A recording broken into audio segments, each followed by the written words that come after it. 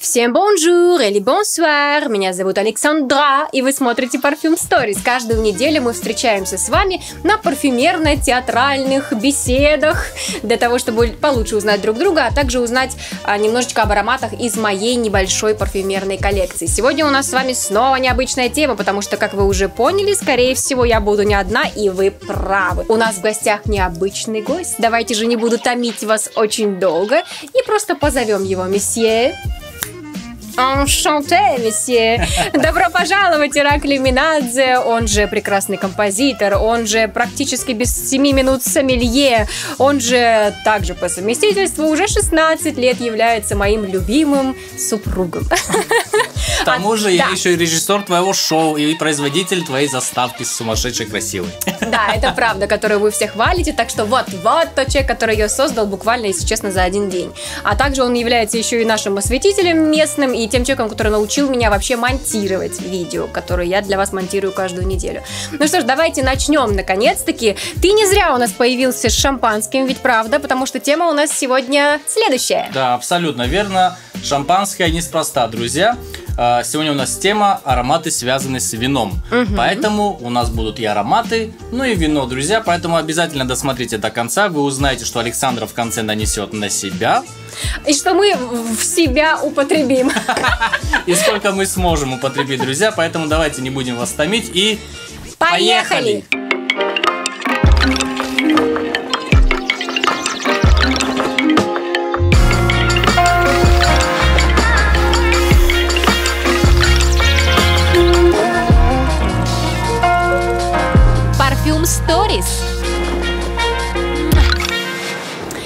Что же, тематика ароматы вина. Она неспроста, потому что темы действительно очень близкие, довольно смежные. Ароматы – это наша с вами память. Э, это на самом деле то, что связано с нашими воспоминаниями. Ароматические композиции, букеты, есть носы да, э, в парфюмерных домах. То же самое происходит в виноделии, в, в мире винопроизводства. Здесь тоже есть ароматические композиции, букеты вина, закупоренные в бутылке будь то игристое или не игристое, красное, сухое, полусухое, полусладкое и так далее. То есть очень смежные темы, связанные с обонянием, с э, чувством аромата. Ну, в вине еще и добавляется вкус. Но об этом чуть позже. Давай просто начнем как раз с шампанского, раз уж мы так красиво начали. Подлей нам, а то мы уже начали заранее. Да, друзья, а, на самом деле у меня сейчас в руке не совсем шампанское, потому что правильнее будет называть шампанское то вино, которое действительно производит и произрастает в конкретном регионе Шампань, который находится во Франции. Угу. Друзья, ну на этот раз у нас Кремань. Кремань это все э, игристое вино практически во Франции, который производит не в регионе Шампань. Это единственное, можно сказать, отличие, основное, да. Но помимо этого, конечно же, еще сортовой состав там довольно сильно меняется, потому что в Шампане обязательно Шардоне, Пино Нуар и Пино Минье. Здесь э, Шенен Блан, Шардоне есть и еще один сорт Мозак. Вино это из юго-запада Франции, регион называется Лагидок Руссиньон. И, между прочим, они говорят, что они изобрели шампанское примерно на 100 лет раньше, чем это сделал сам Дон Периньон в Шампане. Ну, они себя так подбадривают. Возможно, это правда, возможно, нет, но я не думаю, что это конкретно с этим производителем связано, но они себя, по крайней мере, назвали себя даже э, той местности, где якобы это произошло. Поэтому ты правильно сказала про вино абсолютно, это очень смежные темы с э, а, ароматами, потому что я вином увлекаюсь довольно давно, и Саша увлеклась вместе со мной. Это... Лет в 27, на самом деле, до этого я вообще ничего не употребляла, хотя мы, на самом деле, с Ираклием знакомы, мне было тогда 19, когда мы познакомились, да, по-моему? Да, мне 18. А тебе 18, да. Сейчас мне 35.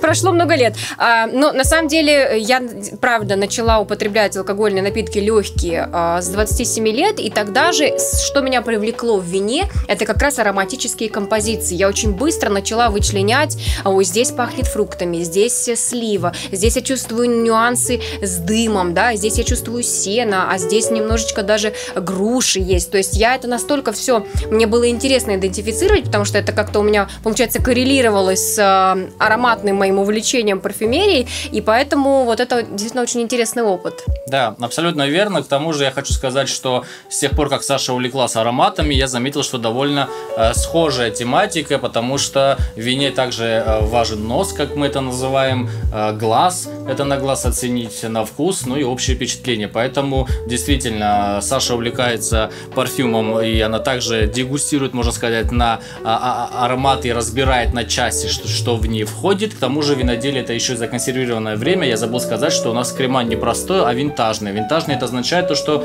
сам урожай 2016 года, а, что в принципе в игристых винах это не так сильно распространено, потому что в основном это ансамбляж разных э, виноматериалов, э, даже разных бывает э, годов урожая. Хотя на самом деле мы с тобой пробовали винтажное шампанское в Шампане. В Эперне, это столица Шампани региона. Мы пробовали винтажное шампанское какого-то 80 да, какого-то года. Да, ну это считается верхом, скажем, угу. производства, когда урожай был настолько хорош, как считает сам винодел, что он решает это вино не смешивать с другими урожаями, он из него производит конкретно винтажное. И на этот раз у нас четырехгодовалое игристое вино 2016 года, и когда она еще и выдерживается очень долго в самой бутылке, кстати, метод традициональный это называется, это означает то, что вино бродило в самой этой бутылке, не в какой-то, как это просека делают в больших нержавейших стали, а потом это все разливают по бутылкам. Mm-hmm. Нет, шампань э, и кремань, и даже кава испанская, они производятся конкретной бутылки. Поэтому давай разбирать аромат. Mm-hmm. Что? Что ты чувствуешь? Да, ну, как говорится, в игристых винах э, в Кремане, э, в основном шампане, э, преобладают первые основные верхние тона. Это, как говорится, кондитерская. То есть это... У нас это называется гурманские ноты. Да, возможно. Я не знаю, как это связано, потому что... Я, наоборот, вот чувствую какую-то прям терпкость этих цитрусов. С самого начала а прям... круассанов не чувствуешь? Слушай, нет, ну какая-то выпечка скорее с яблоками, с грушами, Штрудель, с может, яблочный. Ну нет, штрудель он помягче тогда, посливочнее будет. А здесь просто такая как раз слойка с э, кисленькими яблоками, да, кисленькими сочными да. грушами, с которых сочится прям сок. Они водянистые с такие. мочеными яблоками, возможно. Моченые подкисленные яблоки. Потом есть вот этот нюанс сена. Это такая сухость, получается, этих пузырьков. И такая да. минеральность почвы. А, и еще терпкость, наверное, это что-то связанное вот э, с персиками, косточками. Да, абсолютно верно. Во вкусе есть некая горчинка, которая очень сильно напоминает э, косточки именно абрикос. Знаете, когда вы абрикосы разделываете, там есть косточка, а внутри еще есть орешек. Вот если этот орешек на вкус попробовать, то он такой горковато. Ядрышко, э, да, да терпкое. Вот, и вот примерно вот этот на вкус остается после угу. вкуса. А, часто Иракли говорит, что вина и шампанские вина, и другие виды из, из, из сорта винограда, из которых производят, это все такое закупоренное время в бутылке, капсула времени. Получается, э, мы сейчас пьем солнце 2016 года, года, почву 2016 года, пчелки, которые принесли нектар, и мы все это э, с каждым глотком потребляем в себя. То же самое, в принципе, можно сказать и про парфюм, потому что, конечно, сейчас производят э, парфюмерия, это в первую очередь химическая промышленность, будем э, честны, точнее, это очевидно. Но помимо синтетических ингредиентов есть какие-то, наверное, все-таки масла, еще что-то, что входит в состав более натуральное, и это тоже эссенции и экстракты из живых когда-то смол, э, древесины, цветов и так далее. Поэтому это тоже получается законсервировано законсервированное да, время. Да, но в аромате в парфюме может быть же что-то конкретно, э, как, там, не знаю, 2016 года, а что-то 2020. Может что быть, да. Поэтому довольно, скажем, Купаж это, такой... это параллельные миры, которые собрали воедино, скорее всего. А, а здесь живое А здесь действительно, да, это за, закупорено, законсервированное время, когда вы открываете пробку, вы перемешаетесь в 2016 год лето. Угу. Это абсолютно там весна, э, с, когда плоды зародились, э, лето когда-то созревало, а потом наступление осени и урожай. Как раз таки сейчас осень, и сейчас во всех винных регионах э, на северном полушарии да. происходит э, сбор урожая, друзья. Поэтому давай за это выпьем. Угу. И ты расскажешь аромат, который Чин-чин. подготовила. Да. У меня в коллекции не так много, так, точнее практически отсутствуют ароматы с э, нотами алкоголя, с нотами вина или шампанского, хотя вот шампанское часто встречается В ароматах это такая яркая, пузырчатая, игристая нота, которая придает веселое настроение. Она есть во многих ароматах, но у меня почему-то вот нашелся только один. А, опять же, по рекомендации Карины Цакоевой я обратила внимание на бракаровскую серию L'Histoire d'amour, и это Lune de Miel. Как только она сказала, что здесь есть шампанское, я такая, м-м, я это хочу. Естественно, за очень смешную цену. Я купила этот парфюм. Нам обоим нанесу на блотеры наши, которые я сама сделала. Фирменные наши. Фирменные наши. Покупайте, да. заказывайте, ссылка в описании. Да, ну вот э, сейчас подожди, пока спирт выветрится. Но в принципе, действительно, вот я считаю, что шампанское mm. здесь есть. Его свежесть, эти пузырьки, по-испански бурбухас. Это вот просто действительно, как будто бы ты только открыл, откупорил бутылку, и вот оно взорвалось. Вот этот первый взрыв, первый запах, вот это вот еще с дымком.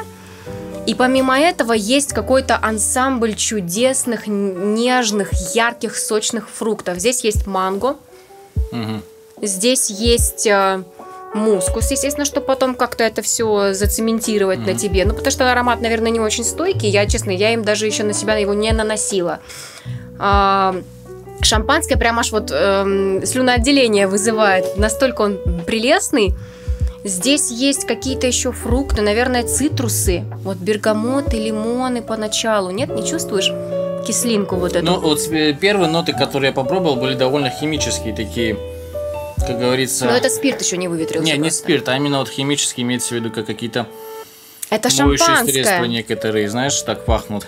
Но ну, может быть, мыльность какая-то есть в нем, да. Мне сложно соотнести прямо с шампанским. А я вот сейчас соотношу. Конечно, здесь больше мыльности, здесь понятно Мне кажется, больше характером подходит, чем прямо прямыми какими-то нотами, на мой взгляд, mm-hmm. да, может быть характером, характером на шампанское, но... Но ты какую ноту здесь э, идентифицируешь? Я его, кстати, муштрую каждый день. Что чувствуешь? Что чувствуешь? Что чувствуешь? На самом деле все было наоборот, когда я, ты Нишу не увлекалась парфюмом, а я увлекался вином. Да, да, ты меня муштровал. В общем, мы друг друга, и, и на самом деле я-то постоянно угадывала практически букет, но я сейчас тоже Ираклию даю э, ароматы, и он очень часто меня удивляет необычными ассоциациями, которые действительно, ну, совпадают. Как говорится, у меня уже нос натренированный, поэтому... О, да, о, да. О, да ну, не знаю, сейчас я облажаюсь, скорее всего, я прямо, мне сложно сейчас понять, у меня немного какой-то пространства сейчас в голове. Здесь вот нежность фруктов. Мангу я здесь не чувствую, хотя он заявлен. Я чувствую как раз вот яблочность, груши, какие-то цитрусы, нежность цветов, может быть, белых каких-то,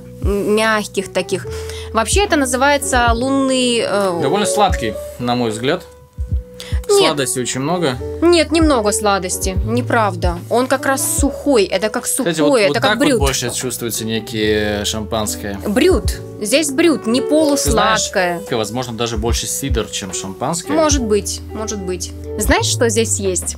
Вот ни за что не угадаешь, но на самом деле, когда я подольше э, с ним посидела, с этим ароматом, я поняла, что да, что-то здесь от этого есть. У Ираклия есть любимое дерево, самое любимое дерево. Оно растет только в южных странах. И оно так вот здесь полосе, в базовых да. нотах есть платан Ираклия. Платан? Да, да. ладно, ну-ка. Платан. Почувствуй, кожурой пахнет.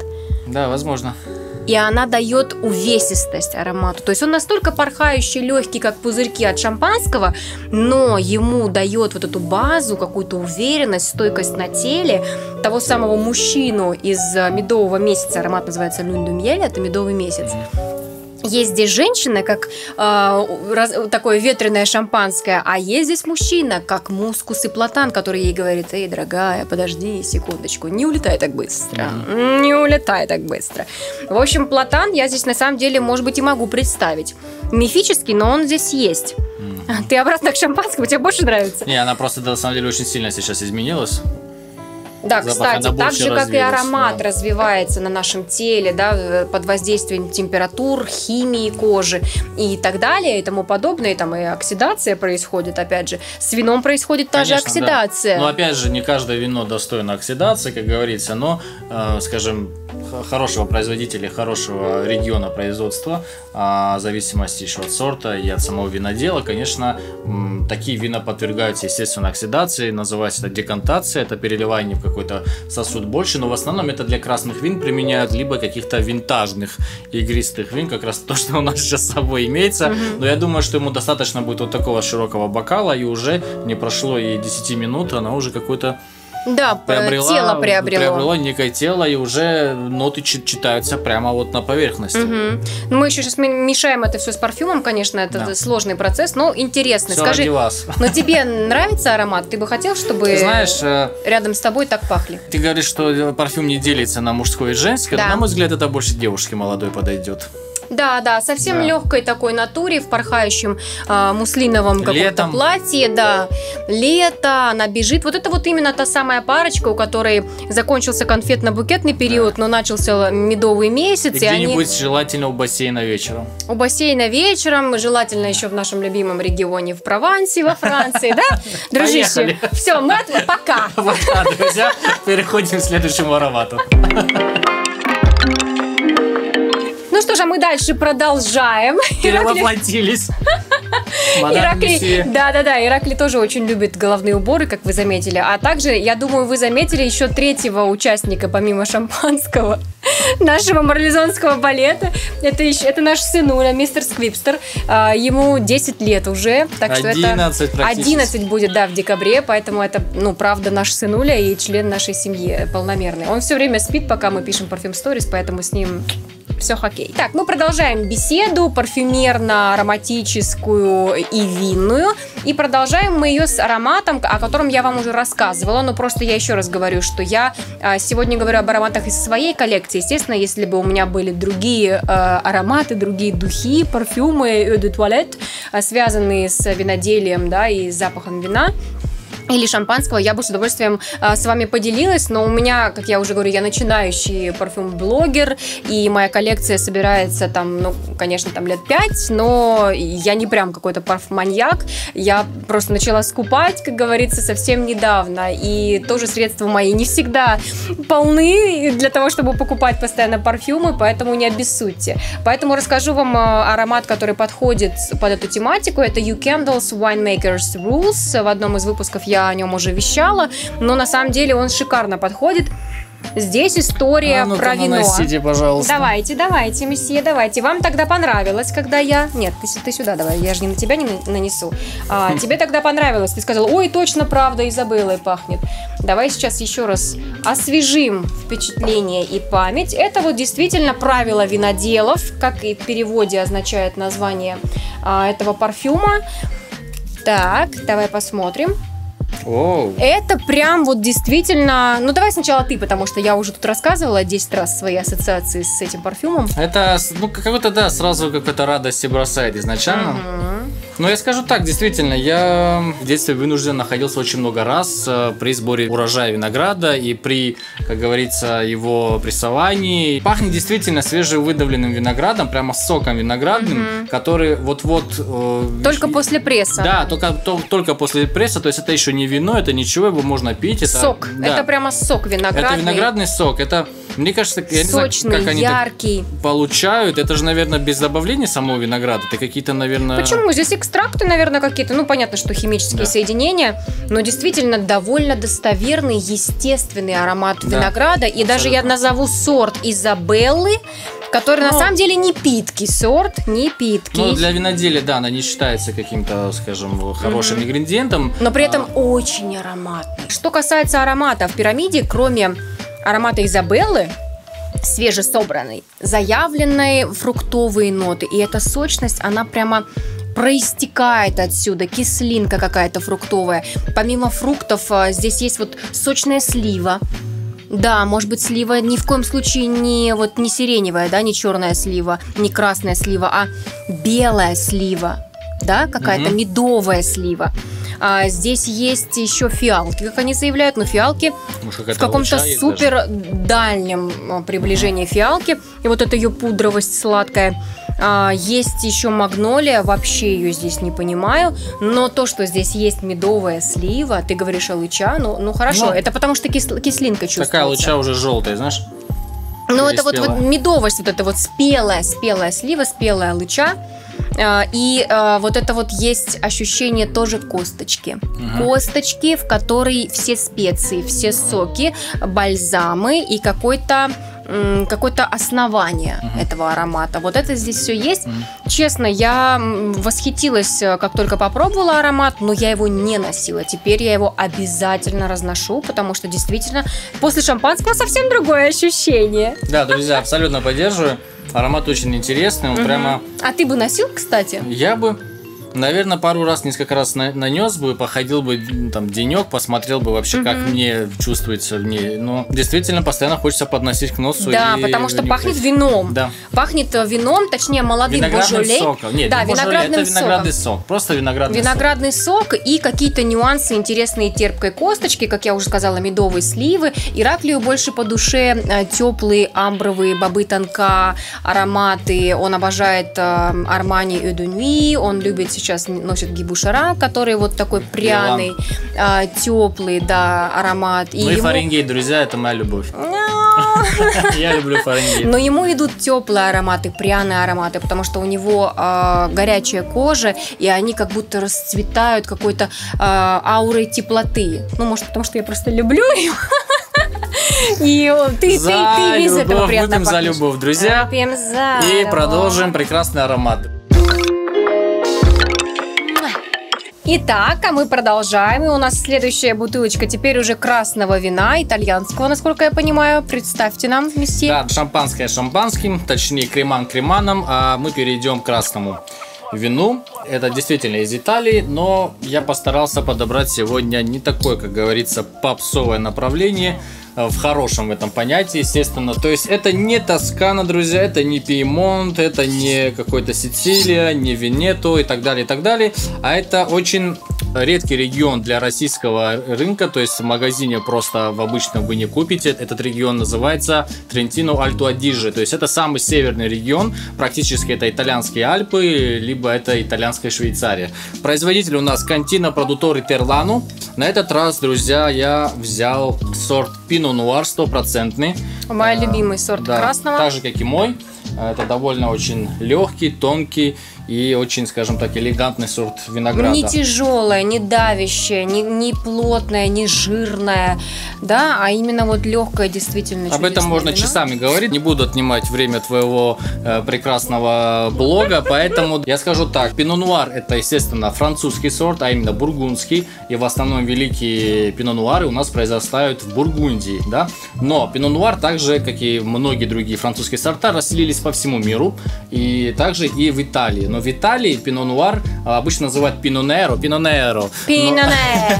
но почему-то на бутылке написано Пино Нуар по-французски. Наверное, это маркетинговый ход, чтобы во всем мире это... Потому что написано Italian Pinot Noir. Да. Тем интересен то, что это итальянский Пино Нуар, а Северная Италия производит довольно интересное вино, на мой взгляд. Поэтому сейчас попробуем с тобой. Сразу можно на цвет обратить внимание, Что, это сто процентов пино нуар, Ну, потому что полупрозрачная, он практически, он практически прозрачный. Через Пино Нуар можно прекрасно рассматривать даже улицу, друзья. Рубиновая такая история, да? Это может быть э, любая белая бумага, да, если вот нанести, то можно более-менее хорошо понять градиент цвета. Ребят, поняли, да? То есть пар в посиделке, вот это вот слепые за тест и все дела. А тут то же самое, только еще и у вас блотеры для ароматов, а у них блотеры для, значит, на просвет смотрим рубиновый оттенок. Да, друзья, вино я охладил э, как раз таки э, к 15 градусам. Да, действительно, необходима аэрация. Нужно покрутить немного в бокале, чтобы, Ой. чтобы она немного начала раскрываться. Действительно, для этого понадобится еще минут 20-30, на мой взгляд, для этого вина необходимо. Но первые тона можно почувствовать, что вино сразу же она необычная. Очень необычная. Очень необычная. У него Что-то животное есть. первые тона как, не, как будто некие гнилые какие-то фрукты. Знаешь, Ну вот вот для тебя гнилые фрукты, а для меня нечто животинка какая-то. Как у нас листья. цвета. Осенние, Осенние листья, листья. подгнившие, но Да. при этом в них пропиталось Перегной. то, что рядом еще что-то жгли, явно. Абсолютно. И дымок есть, копченость какая-то. как раз таки осенних листьев, дымок осенних листьев. Да, но он, он, он, знаете какой? Он вчерашний. То есть это не только что соседи там что-то жгли, и ты умираешь просто от э, кислотного этого запаха. Такой запах, да. Остаточный, вот тот самый приятный остаточный дымок, которым ты думаешь, «М, осень. Сухофрукты. здесь Сухофрукты, ну как всегда в красном вине, часто это Чернослив. бывает, чернослив. Абсолютно. Нет, не во всех это присутствует. Ну, но здесь, часто. на мой взгляд, здесь очень ярко выраженный чернослив.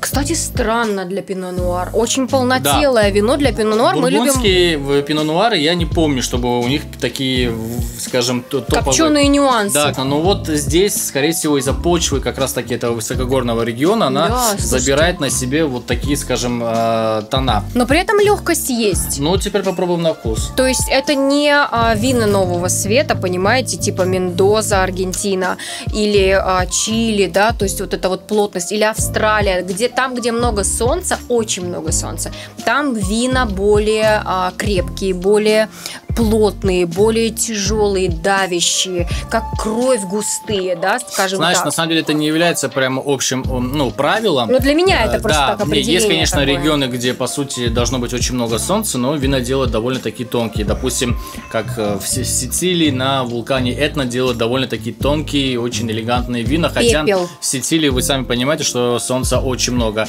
Это связано с тем, что действительно из-за солнца виноград набирает очень много сахара, и сахар, как мы знаем, перерабатывается в итоге в алкоголь, и это и дает его плотность. Я увидела коричневый нюанс здесь сразу и поняла, что что-то в плотности этого тела точно есть корпулентная винишка 100%. Я думаю, это просто первый тона. Мы только что открыли бутылку. Давай Ну, мы ему дадим. постоит, по- да. постоим. Мы сейчас удивимся с тобой, насколько он сильно изменится. Поэтому давай покажешь, Давай перейдем к что аромату. за аромат да. у тебя. А, на самом деле, я не нашла третьего полнокровного а, парфюма, который бы отражал именно красное вино в его проявлении, скажем так, э, тонком и эстетическом, но а, я нашла два интересных ароматических состава, эликсира, эссенции или ароматического масла для разных применений. Можно добавлять его в ванну, можно добавлять его в какие-то массажные масла или даже в парфюм, как они советуют.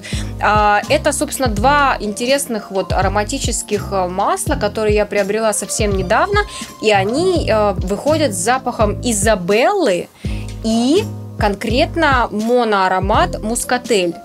Вот честно, только я ощутила, я взяла, даже несмотря ни на цену, ни на что, потому что это действительно experience, это шикарный опыт.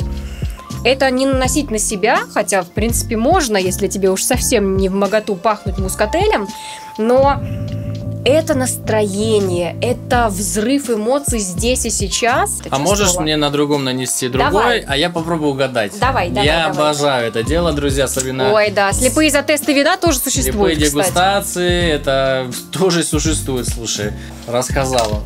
Давай, я не смотрю. Ты мне да, дай один в одну руку. Так, давай, who is who? Давай, попробуем. Ну, кто где? Так, здесь что-то мало, по- ну, а, вот так. Дай мне. Подожди. А ты запомнила хоть какой да, ты я не запомнила. подписала? Запомнила, только не меняя местами. Ты вот здесь совершенно мало нанесла, но скорее всего это Изабелла, это мускат. Нет, наоборот. Да как? А здесь не пахнет вообще ничем. Я нанесла, но совсем немного, правда. Слушай, ну... Ладно, твой они- нос подвел. Они А, одинаково пахнут. А, они не одинаково пахнут. На самом деле, просто мускатель и Изабелла обладают вот этим вот каким-то пряно-сладким ароматом. Это сладкие сорта, Мгм. насколько мы Ну, все конечно, прекрасно знаем. Вы помните все эти вина домашнего производства, когда вы ездили на отдых на море, вам За говорили... 15 рублей 5 литров. Натуральное вино. Ты что, девочка, попробуй, Изабелла, просто сладкий только что из... э, бра- э, только что сорвал, пальчики оближешь, да. Дамский пальчик тоже, но он не винный сорт. А мускатель, в принципе, тоже это, это десерт. Уже напробовались, ребята, надегустировались. А, мускатель тоже десертное, скорее, вино, тоже сладкое, какому-то десерту, Не, из него сухое делают. Но это вообще я бы Но- не, не сказал винным сортом. Ну, в общем, не мускатель. Не- Мускатель делают. Мускатель, да, Да. но Изабелла 100% невинный сорт. Это вообще считается в Ну, Европе есть. сорняком. То есть Ну, они не производят и В многих вина. регионах Европы запрещено произ- производить Короче э, говоря, вино а, из Изабеллы, потому что на это есть свои причины. Да, Многие, у них многие, считают, не, многие считают, что это неправда, многие считают, что это правда, но тем не менее есть такая, скажем, определенная версия, которому придерживается большинство в Европе, о том, что при брожении э, такого сорта, как, э, ну, это американский, по сути, аборигенный сорт, э, Изабеллы, произ- он производит э, не этиловый спирт преобладает, а метиловый. Метиловый, а метиловый спирт, друзья, это яд, как говорится. Для человека, да. Вот это теперь Изабелла в хорошем нанесении. Он менее ароматный, чем мускатель. Почему? Да. Но вообще считается, что мускатель это как раз самый ароматный Да, сорт мускатель, из, да. из самых доступных, скажем так, человечеству, особенно русскому человеку. Но и вином из мускателя довольно Изабеллу- шикарно пахнет. Ну, Да. летом это самое то, друзья, охлажденный мускатель из какой-нибудь Эльзаса, либо из Германии. Это шикарно. Но если честно, лично для меня я обожаю запах Изабеллы. Это запах моего детства. Я думаю, не только моего. Это когда обвитые э, вот этим самым виноградом ваши беседки, дома. Э, Виноград высаживают в декоративном еще Это сейчас расскажи смысле. людям, которые нас из Архангельска смотрят. Ну, на самом деле, правда, очень многие семьи, которые жили в частных домах, а мы жили с родителями в частном доме прак- практически все детство до 17 лет. Ну, на юге И, России, Да, конечно, на юге России мы выросли в Ростове, и э, жила я и в Грузии, и в Венгрии, в. Краснодарском крае, да, мы очень много попутешествовали. А, вот Изабелла это просто мое детство. Это, не, это и сок пакетированный, вот эти в 90-е, которые были как Да. раз со А, вкусом вот раз таки Изабеллы. больше. Это и вино из пакетов, вот это дешевое на родительских Не, вечеринках, из которого прям вино- пахло из бокала. Да, действительно. Я... Да, да, да, да, да, честно. Это и вот то самое лето, когда уже сочится сок из этих виноградных гроздьев, э, э, когда уже сочится сок из этих виноградных гроздьев, э, и когда ты хочешь сорвать их, и этот красивый цвет немножечко с матовым покрытием на сиреневых ягодах. И уже лето заканчивается, конец августа, скоро в школу.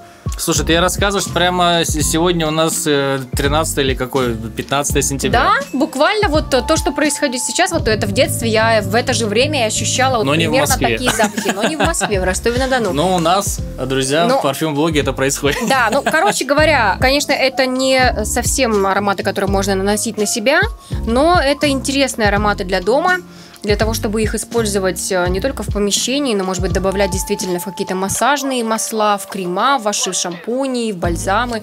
Очень интересный experience, правда. Да. Ну что же, я предлагаю тогда подытожить и выбрать аромат, который мы нанесем, и вино, которое сегодняшним вечером мы будем наслаждаться. Можно я начну? Ну что же, Так как это все-таки мои парфюм stories. поехали. Итак, что же я конкретно выберу для себя как аромат для тела и души, а также как э, напиток, который буду продолжать этот вечер потреблять? Наверное, все-таки это аромат, который я недооценила, но сегодня распробовала окончательно. Может быть, в дуэте он оказался более выигрышным и комплементарным. Я выбираю Lune de miel, l'histoire d'amour, Brocard. Потому что мне хочется чего? Праздника, шампанского, вечного медового месяца на 16 году семейной жизни. О, наступила осень и хочется романтики, поэтому я наношу на себя. Ну что же, друзья, я противоположно, если так можно сказать, э, You Candles, э, Winemaker's Rule. Я не знаю, она мне сразу же с первых нот понравилась. И Конечно, я как раз таки сказал, что я бы попробовал поносить на себе и разносить, как вы говорите, и понять, подходит она мне или нет. Поэтому сегодняшним вечером я точно буду пахнуть как мокрая Изабелла. Это не коктейль, можешь не взбалтывать перед нанесением. Мне прям самой интересно, как с тебя будет этот аромат э, развиваться. Прекрасно, друзья. Я чувствую, я уже помолодел на два дня. Конечно, я чувствую, что я уже погрузился в чан, собственно, с Изабеллой. Ну что же, ладно, а что же с вином? Что ты будешь сегодня вечером пить? Но я хочу продолжить прекрасный дуэт и беседу в игристых тонах, скажем так. М. Поэтому к моему э, медовому месяцу добавляется чудесная яблочный сидр, точнее креман наш 1531 года происхождения, который раньше, чем э, видно э, игристые шампани появились. Поэтому Да, друзья, это с шампанским. Это креман э, Лиму, то есть э, юго-запада Франции, 2016 года э, выпуска, то есть винтажное игристое вино. Ну что же, а я, у меня настроение сегодня осеннее. У нас э, уже начала в Москве пахнуть э, листвой, как говорится, скоро, наверное, и дымок появится, когда начнут почему-то сжигать. Я не знаю, каждый Главное, год зачем чтобы это не сжигают. как дым в 2010 было. Наверное, я э, посижу в своем креслице, включу какой-нибудь фильм с тобой и буду наслаждаться красным вином из э, севера Италии, Пино Нуара, стопроцентным, друзья. Ну а мы с вами уже увидимся на следующей неделе. Это снова будут Parfum Stories. И я снова призываю вас к тому, чтобы активнее общаться в комментариях, потому что, правда, Иракли свидетель. Я радуюсь как ребенок просто каждому вашему высказыванию, каждому нашему с вами общению. Давайте вы расскажете о том, пробовали вы ли эти ароматы. Может быть, You Candles и не пробовали, потому что они только недавно выпустили свою парфюмерную линейку для людей. Вот. А что касается Бракара, L'Histoire d'amour и Люнду Мьель, я думаю, что много говорили об этом парблогеры, и вы, скорее всего, уже попробовали. Скажите, чувствуете ли вы здесь шампанское, манго и так далее, то, что здесь Да, заявлено? Друзья, в общем, э, я тоже буду очень рад. Пишите комментарии, как вам вообще такая коллаборация мужа с женой. Э, Да, друзья, на самом деле. Режиссера с артистом. Я всегда стою за кадром, когда Саша это все записывает. Мне очень приятно было с тобой попробовать на этой стороне камеры, как, как говорится, поговорить, обсудить, наносить на себя ароматы, тем более выпить вина. Я всегда рад, друзья, зовите. У меня также есть божественный влог. У меня в IGTV его полно, где Саши тоже очень много там. И Да, там, в кстати, у нас основном есть про наш отдых. Да, и не, почему? Там есть даже у нас э, город Грасс, парфюмерные истории. Мы тоже Да, там побывали, кстати, да. можете найти, да, друзья, кому это интересует. Ну что же, я был очень рад. Спасибо огромное, что был сегодня с нами. Давайте общаться дальше в комментариях. И обязательно увидимся с вами уже на следующей неделе. И это будут Parfum Stories. И я Саша. Пока! Au revoir!